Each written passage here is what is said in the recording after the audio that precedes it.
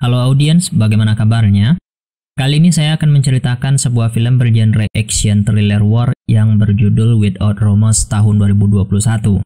Film ini merupakan karya Tom Clancy, bercerita tentang anggota pasukan khusus yang dijebak melakukan misi berbahaya dan nyawa jadi taruhannya. Bahkan mereka harus kehilangan anggota keluarganya akibat misi tersebut. Seperti apa keseruan ceritanya? Simak video ini sampai selesai.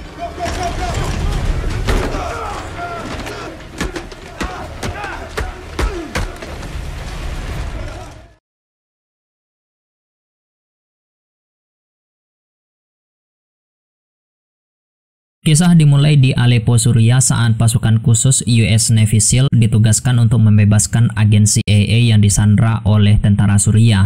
Berdasarkan informasi intelijen yang dimiliki oleh agen CIA bernama Ritter, mereka menyandra agen tersebut di sebuah rumah. Sayangnya CIA tidak mengetahui berapa banyak jumlah tentara Suriah yang berjaga di lokasi tersebut. Operasi itu akan dipimpin oleh Letnan Kolonel Karin Greer di mana salah satu anggotanya bernama John Kelly. Ritter sendiri akan ikut bersama pasukan ini dalam misi pembebasan tersebut. Singkat cerita, mereka akhirnya sampai di rumah aman yang digunakan untuk menyandra sang agen CIA.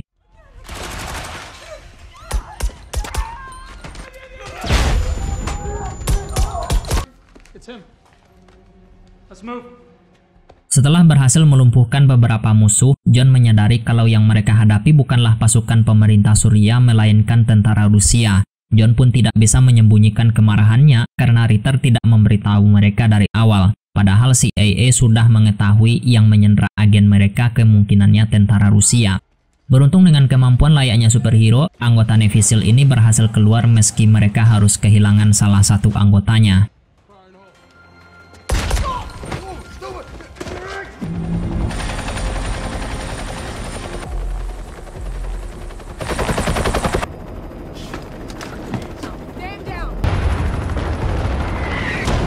Tiga bulan kemudian, John dan timnya sudah kembali ke Amerika. Saat itu, dia terlihat menghadiri pesta bersama istrinya yang bernama Pam. Saat ini, Pam sedang hamil anak pertama mereka dan akan segera melahirkan, di mana calon anak mereka itu diketahui berjenis kelamin perempuan. Sementara itu di tempat lain, anggota Kolonel Greer yang berada di California Utara dan Atalanta diserang oleh orang tidak dikenal yang membuat mereka tewas saat itu juga.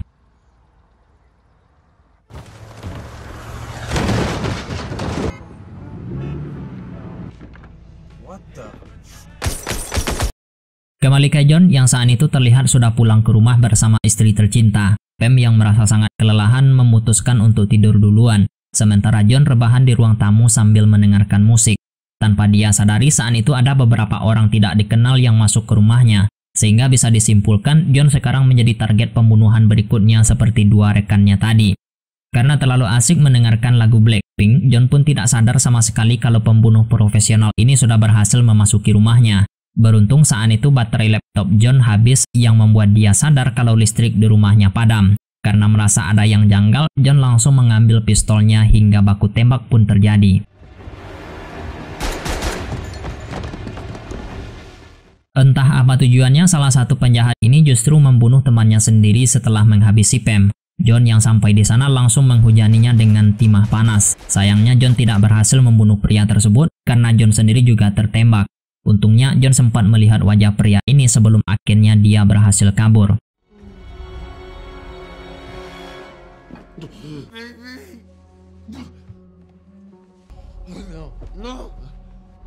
Setelah mendapatkan penanganan dari dokter, nyawa John berhasil diselamatkan. Sementara itu, Ritter mengadakan rapat dan memberitahu kalau sisa anggota tim Kolonel Greer yang masih hidup sudah berada di tempat perlindungan FBI.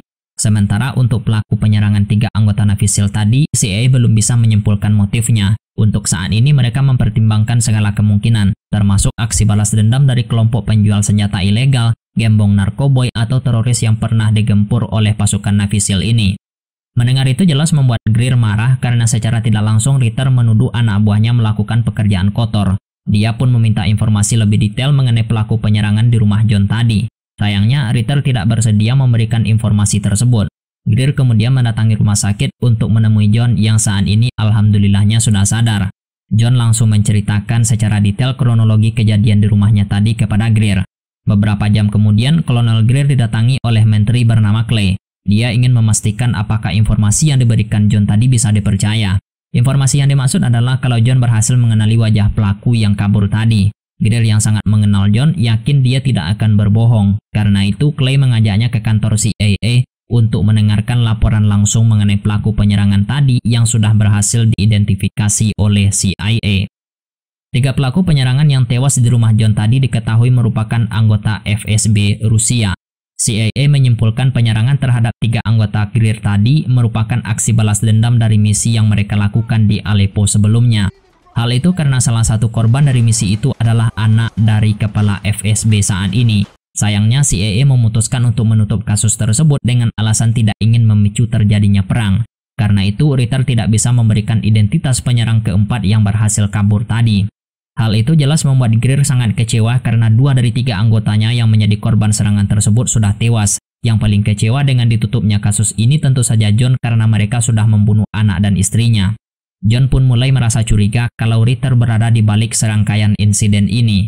John sebenarnya sudah merasa curiga sejak misi mereka di Aleppo tiga bulan yang lalu karena Ritter tidak memberitahu mereka mengenai keberadaan pasukan Rusia tersebut. Greer yang memahami perasaan John akhirnya memberikan informasi yang berhasil didapat dari Clay tadi. Dari berkas itu diketahui kalau pelaku penyerangan tersebut mendapatkan paspor dengan bantuan pria bernama Andrei Vasaliev. Dia merupakan mantan anggota FSB yang sekarang bekerja untuk kedutaan Rusia. Itu artinya Vasaliev mengetahui identitas penyerang keempat yang kabur tadi. John yang ingin membalaskan dendam kematian istrinya langsung mendatangi kedutaan Rusia dengan pura-pura menjadi kang mabok agar bisa mengamati pergerakan Vasaliev.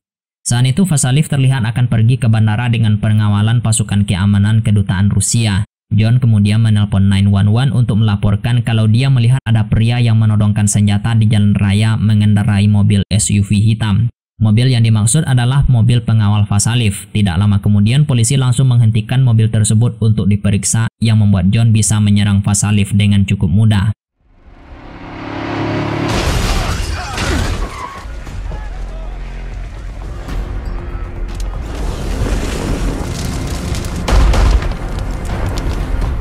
Dari pengakuan Vasaliev ini, John akhirnya berhasil mengetahui identitas penyerang keempat tadi yang bernama Viktor Rikov. Saat itu Vasaliev sempat berkata, ke mana pun John pergi, kematian akan selalu mengikutinya. Sayangnya, John langsung ditangkap akibat melakukan penyerangan tersebut.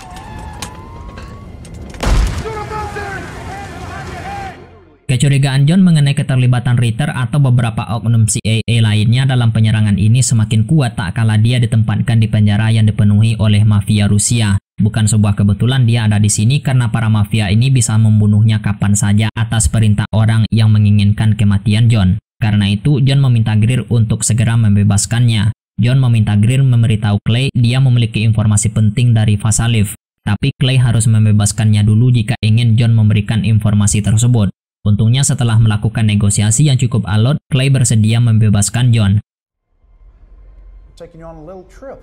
You can't tell me where I'm going. I'm not moving.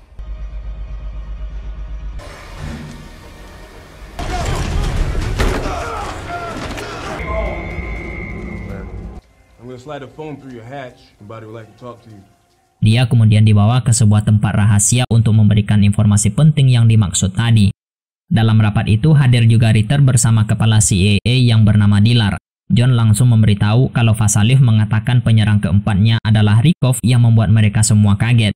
Hal itu karena Viktor Rikov sendiri diketahui sudah lama meninggal. Rikov dulu merupakan mantan anggota pasukan khusus Rusia yang juga pernah menjadi anggota FSB. Dia menganut ideologi Soviet kuno yaitu menjatuhkan kekuatan barat dengan melakukan penyerangan di tanah Amerika itu sendiri.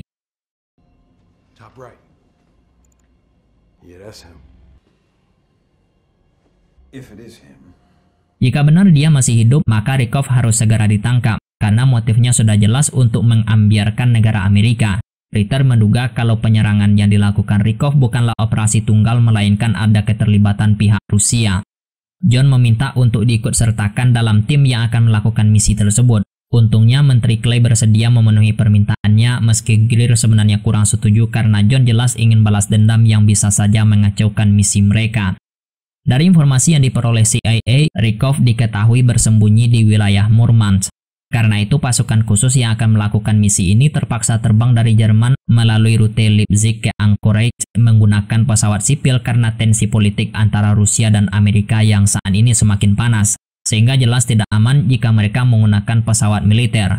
Agar penyamaran semakin meyakinkan, mereka juga harus membawa penumpang dari warga sipil. Entah apa alasannya, Ritter justru tidak ikut dalam pesawat tersebut bersama mereka. Hal ini semakin memperkuat kecurigaan John kalau Ritter sedang merencanakan sesuatu. Saat memasuki wilayah udara Rusia, tepatnya di atas Laut Barents, mereka bersiap terjun untuk berpindah menggunakan jalur laut.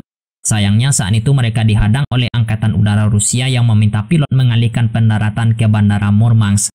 Jika menolaknya, Angkatan Udara Rusia menganggapnya sebagai bentuk perlawanan dan akan menembak pesawat tersebut. Karena tidak ingin misi mereka gagal, pilot berkata dia tidak bisa mendengar dengan jelas ucapan pilot jet tempur Rusia tersebut. Mendengar jawaban itu, tentara Rusia langsung menembak pesawat yang ditumpangi oleh John dan timnya ini.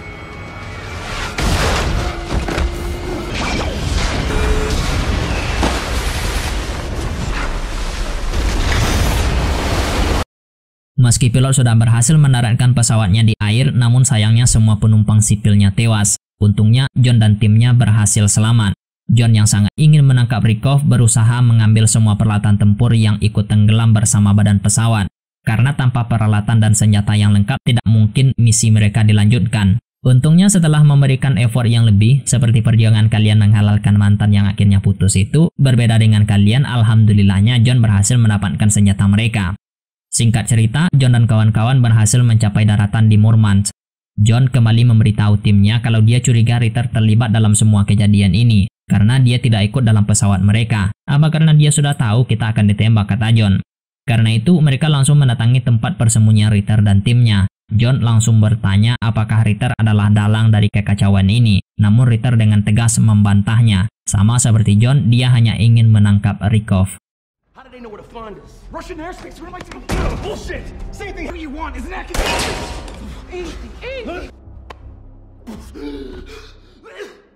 Setelah merasa yakin Ritter tidak membohongi mereka, John berserta timnya langsung mendatangi lokasi keberadaan Rikov. Setelah melakukan pengintaian selama beberapa jam, mereka langsung menyusup untuk menangkap Rikov saat hari sudah mulai gelap. John yang masih curiga ada konspirasi di balik serangkaian penyerangan tersebut langsung memblokir akses masuk agar dia bisa menginterogasi Rikov sendirian. Saat itu Rikov malah mengaku sudah menunggu John. Rikov mengatakan kalau mereka sebenarnya adalah pion untuk raja yang sama karena Rikov ternyata juga bekerja untuk CIA alias dia merupakan agen ganda. Dia mengatakan kalau misi penangkapan dirinya sebenarnya adalah jebakan yang diatur oleh pemerintah Amerika sendiri di mana John dan timnya ini memang harus mati dalam menjalankan misi ini dengan tujuan agar Rusia menemukan mayat tentara Amerika yang melakukan misi terselubung di negaranya sama seperti prajurit Rusia yang tewas di rumah John tadi. Mereka sebenarnya memang harus mati di sana dengan tujuan agar Amerika menemukan prajurit Rusia yang melakukan misi di negaranya. Tujuan dari semua rencana licik itu adalah agar Amerika dan Rusia berperang itu artinya John, Greer, Ritter, dan seluruh tentara Amerika yang terlibat dalam misi itu harus mati bersama Rikov agar rencana konspirasi itu berjalan sesuai dengan rencana.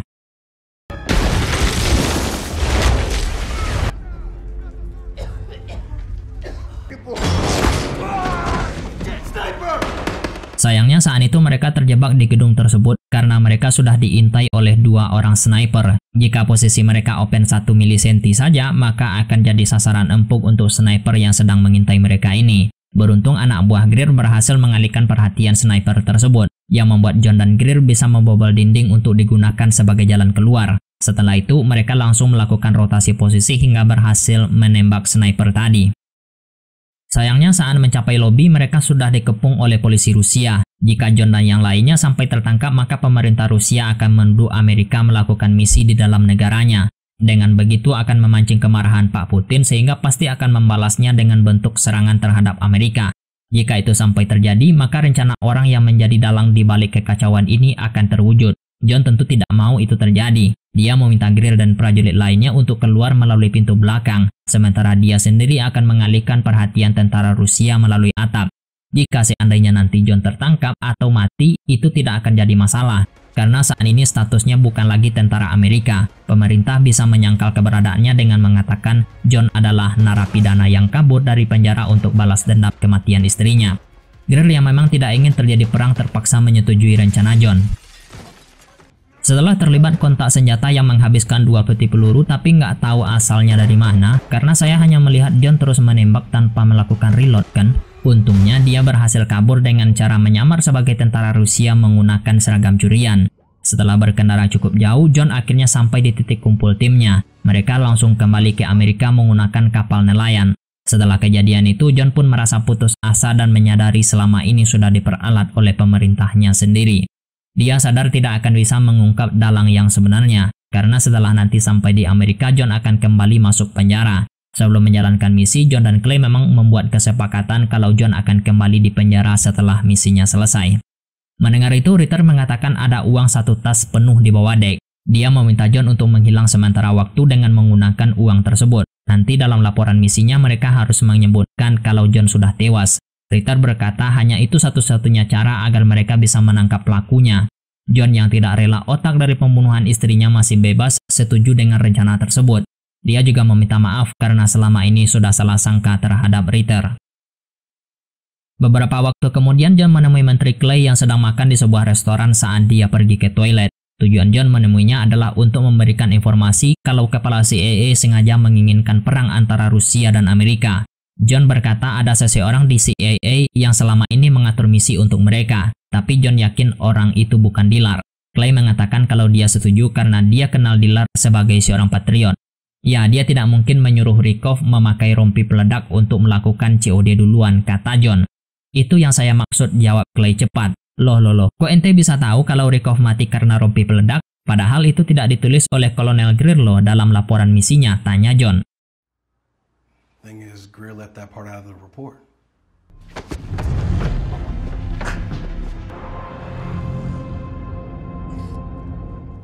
Rupanya selama ini Clay lah otak di balik semua konspirasi tersebut. Dia memang sengaja membuat hubungan Rusia dan Amerika memanas, tujuannya agar bisnis terus berjalan.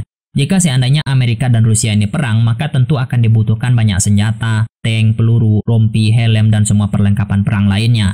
Dengan begitu, bisnis peralatan tempur akan terus berjalan yang tentu akan menguntungkan oligarki. Mereka lah otak sesungguhnya dari rencana ini, John. Jadi ente ikuti aja mainnya mereka, kata Clay. Apalagi hari ini warga Amerika sendiri justru saling bermusuhan karena selama ini mereka tidak memiliki musuh dari pihak luar. Hari ini pemudanya sibuk joget-joget, pakai lipstick, bedak, mereka bahkan mati-matian ikut kampanye perbuatan biadab yang menyimpang, kata Clay. Karena itulah Clay menginginkan perang dengan Rusia agar warga Amerika bersatu melawan musuh yang sesungguhnya dari luar. Tapi kenapa harus istri dan anak-anak yang ente bunuh? Tanya John. Meski ente punya niat baik membuat laki jadi gentle sesuai dengan kodratnya, tapi kan tidak harus membunuh orang yang tidak berdosa.